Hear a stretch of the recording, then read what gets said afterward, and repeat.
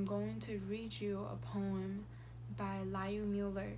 I hope you enjoy it and have a good night. In Passing by Lisel Mueller.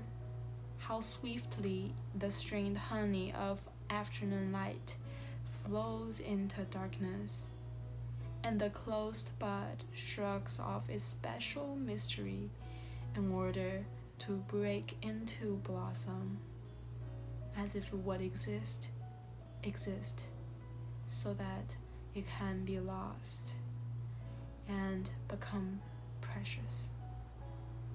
I hope you have a good night. I'm Jessie. I read poem to say good night to you.